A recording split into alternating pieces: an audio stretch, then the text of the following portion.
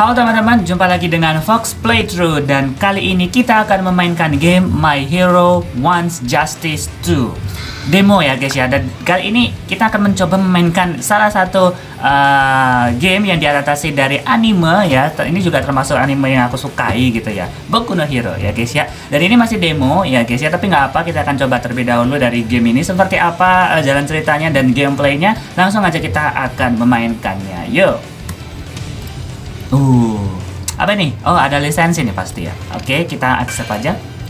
Terus apa nih? Bandai Namco bla bla bla bla. Oke, okay, accept. Uh, this game use uh, oke, okay, apa tadi enggak? Tahu-tahu muncul ini. Do you wish to start the game with English voice? You can change the voice at any time from a configuration menu. Oke. Okay. Uh, no. Kita akan would you like to configure the setting? Yes. Kita akan coba menggunakan bahasa uh, Nah ini bahasa ini yang kita cari ya guys ya. Jadi biar lebih keren aja gitu. Ini ada preset-preset. Oh kita akan menggunakan keyboard ya. Control, game setting. Tapi di sini ada anu nggak subtitlenya nggak? Jadi bahasa Jepang tapi subtitlenya bahasa Inggris itu. Hmm. Oke teman-teman kita udah sampai di sini ya. Dan ini suaranya, uh keren juga ya. Oh, suaranya familiar banget ya nih ya. Si Deku.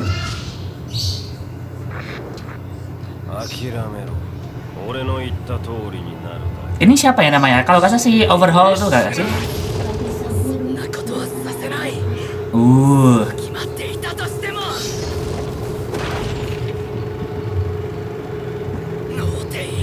Tadi kalau nggak salah aku juga sempat lihat si Mirio sama juga si siapa tuh yang pakai kekuatan mata tuh lupa namanya tuh.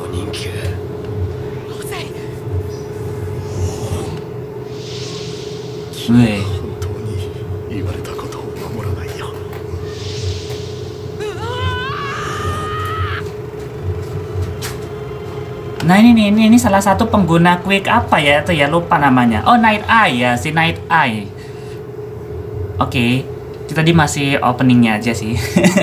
Tapi nggak apa, kita coba lihat. The end of the beginning, the beginning of the end maksudnya. Uh, auto next, oke okay, next saja. Oh ini di sini masih ceritanya ya.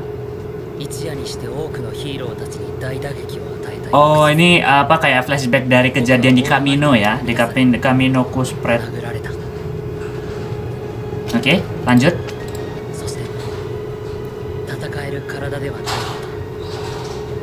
Hmm ya, jadi uh, kalau kalian tahu uh, alur cerita dari animnya itu ya, yang Boku no Hero yang di season keberapa ya kalau nggak salah? Season 4 atau nggak season 3 lupa aku. Akhir season 3 kalau nggak salah, lupa aku. Nah, ketika ada kejadian sikar di Camino itu ya jadi uh, si All Might ini udah nggak mampu bertarung lagi ya. Jadi ketika ada kejadian di Camino itu All Might itu adalah pertarungan terakhir melawan si All for One ya. Oh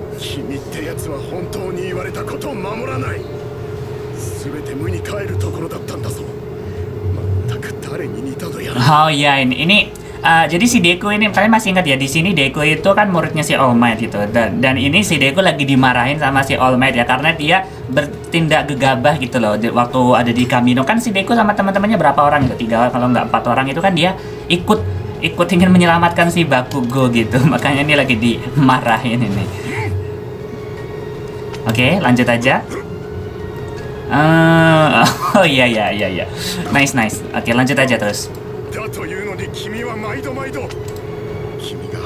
Oke, okay, untuk untuk uh, jalan ceritanya mungkin kalian udah pada tahu, jadi ini aku akan cepetin aja ya. Nah, jadi itu baru tutorialnya karena ada banyak sekali. Oh, ini sekarang udah mulai. Baru ini udah mulai, teman-teman. Ini cara nutup nutupnya gimana? Nomor 8. Ini nggak bisa ditutup ya, teman-teman ya, tapi nggak apa. Kita coba aja lari saja. Hmm, yuk, mari kita serang lagi. Oke, okay, maaf banget kalau mamanya agak ketutupan sama kontrolernya ya, tapi tidak apa-apa. Kita akan coba kabur, kabur, kabur aja, kabur. Eh, jangan, jangan dekat-dekat sama si All juga. Oke, yuk kita coba lagi. Mari kita dekatkan. Kita akan menggunakan uh, tendangan dari udara ya. Tadi warna apa? S uh, I ya. Hmm, aduh masih kena dong. Hmm, mantap sekali. Wih kekuatannya tuh gak keren ya. Oke, kita coba lagi di uh, kita dipakai apa ya? Ada oh KL KL ya. Kita coba tahan ya. Hmm, KO.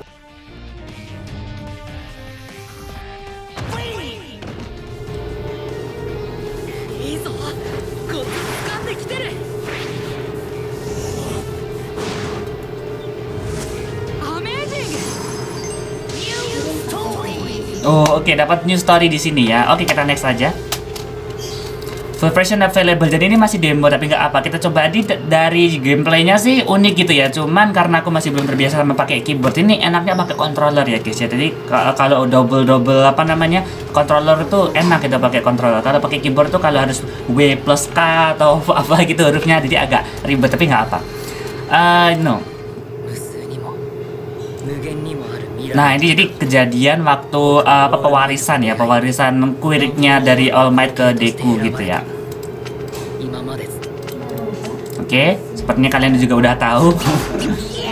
Apa? It's time for lecture listeners. Are you ready?